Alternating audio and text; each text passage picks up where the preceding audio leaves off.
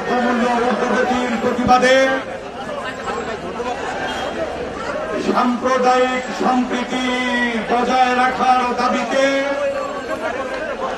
আজকের ঢাকা মহানগর উত্তর বিএনপির আয়োজিত এই মানব বন্ধনের সংগ্রামী প্রধান অতিথি সাবেক মন্ত্রী সাবেক এমপি, মুক্তিযুদ্ধের সংগঠক, ঢাকা বিশ্ববিদ্যালয়ের অধ্যাপক, বিএনপির সিনিয়র স্থায়ী কমিটির সদস্য, দেশ নেত্রী বেগম খালেদা জিয়া এবং বিএনপির ভারপ্রাপ্ত চেয়ারম্যান দেশ তারেক রহমানের অত্যন্ত বিশ্বস্ত সহকর্মী, আমাদের শ্রদ্ধাভাজন শিক্ষক, প্রফেসর ডক্টর খন্দকার মুশারফ হোসেন উপস্থিত রয়েছেন। আমাদের মাঝে ঢাকা মহানগর দক্ষিণে সংগ্রামী আহ্বায়ক মুক্তিযোদ্ধা ঢাকার এক সময়ের ডেপুটি মেয়র,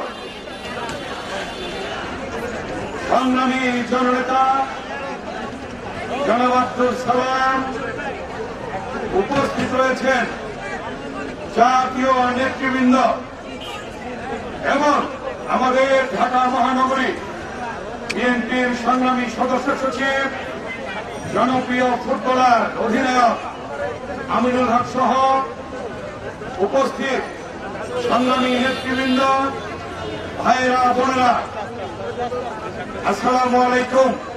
আমার প্রিয় সাংবাদিক বন্ধুরা, এবং আঘাত আগত বিভিন্ন থানা ওয়ার্ড থেকে বিএনপি অঙ্গ সংগঠনের নেতৃবৃন্দ, আজকে নিত্য প্রয়োজনীয় যে দ্রব্য আজকের তার লাগামহীন মূল্য বৃদ্ধি পেয়েছে। আজকে নিত্য প্রয়োজনীয় জিনিসপত্র মানুষের ক্রয় ক্ষমতার বাইরে চলে গিয়েছে। গত তিন দিন আগে যে পেঁয়াজের দাম ছিল, দুই দিনে দেখা গিয়েছে পাঁচ টাকা পাঁচ টাকা বেড়ে যাচ্ছে। এভাবে চালের দাম বলেছিল বাংলাদেশের আজকে অবৈধ প্রধানমন্ত্রী যে দশ টাকা কেজি চাল খাওয়াবে, সেই চালের দাম আজকে কত? সত্তর আশি টাকা। এমনি ভাবে প্রতিটি দ্রব্য মূল্যের দাম বৃদ্ধি পেয়েছে। আজকে জনজীবন দুর্বি সহ মানুষের কথা বলার অধিকার নেই। সাংবাদিকদের লিখনের স্বাধীনতা নেই। আজকে জবর দখল চলছে। আজকে জনগণের যে প্রত্যাশা, তারা নিজেরা নিজের ভোট দেবে কেন্দ্রে গিয়ে। অতীতের মতো মিট নাইটে আগের রাতে ভোট হবে। সেটা আর বাংলাদেশের জনগণ চায় না। সেটা চায় না বলি আজকে বাংলাদেশের জনগণের বিভিন্ন রাজনৈতিক দলের এবং জনগণের প্রত্যাশা আগামী দিনে একটি নির্দলীয় নিরপেক্ষ তত্ত্বাবধায়ক সরকার অধীনে নির্বাচন হবে। আজকে যখন এই দাবিটি জানা বেঁধেছে আজকে যখন এই দাবিটি জনগণের মুখে মুখে, জনগণ তাদের পছন্দের নেতা নির্বাচিত করবে ভোট দিয়ে, জনগণ তাদের পছন্দের সরকার নির্বাচিত করবে ভোট দিয়ে, আজকে সেটা অনুপস্থিত আজকে মানবাধিকার ভুলণ্ঠিত, আজকে গণতন্ত্র অবরুদ্ধ। এমনি পর্যায়ে এলাকামহীন দ্রব্যমূল্যের ঊর্ধ্বগতি এই তত্ত্বাবধায়ক সরকারের দাবি এবং দ্রব্যমূল্যের ঊর্ধ্বগতি এই বিষয়গুলি জনগণের দৃষ্টি থেকে অন্যদিকে ধাবিত করার জন্যে পরিকল্পিতভাবে আজকে সাম্প্রদায়িক সম্প্রীতি বিনষ্ট করছে সরকার।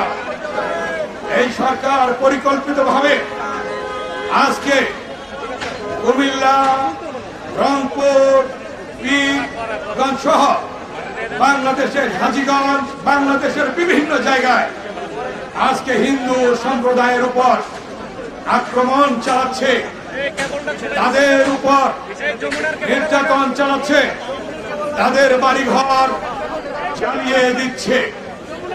এমনি ভাবে যখন জনগণের দৃষ্টি অন্যদিকে ধাবিত করার জন্য এই সকল অপকর্মে লিপ্ত সরকার তখন বাংলাদেশের মানুষের মধ্য থেকে প্রতিবাদের ঝড় উঠেছে। সেই জন্য আজকে দেখা যাচ্ছে, জনগণের উপর এই সরকার পরিকল্পিতভাবে মিথ্যে মামলা দিচ্ছে। বিএনপির নেতা কর্মীদের উপর মিথ্যে মামলা দিচ্ছে। এবং বাংলাদেশের বিভিন্ন জায়গায় বিএনপির নেতা কর্মীদেরকে গ্রেফতার করছে। মিথ্যে অজুহাতে মিথ্যে ভাবে ওয়ান সিক্সটি ফোর করে মিথ্যে ভাবে আজকে এই সরকার বিএনপির নেতাদেরকে, বিএনপি এবং অঙ্গ সংগঠনের নেতা কর্মীদেরকে আজকে জড়িত করার জন্য এইভাবে মিথ্যার আশ্রয় গ্রহণ করেছে। আজকে বিভিন্নভাবে মিথ্যার আশ্রয় নিয়ে বিএনপির নেতা কর্মীদেরকে জড়িত করার জন্য নাটক সৃষ্টি করছে।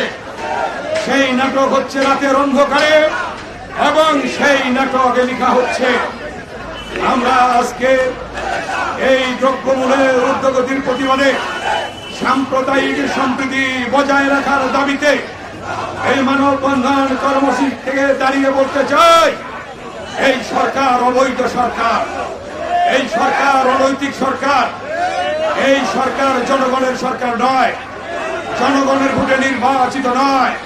তাই আজকে জনগণের কাছে এই সরকার জবাবদিহি করছে না। তাই আজকে জনগণকে সাথে নিয়ে বাংলাদেশের মানুষ বিভিন্ন রাজনৈতিক দল দল মত নির্বিশেষে আগামী দিনে মাঠে নামবে। নির্দলীয়, নিরপেক্ষ তত্ত্বাবধায়ক সরকার কায়েম করবে।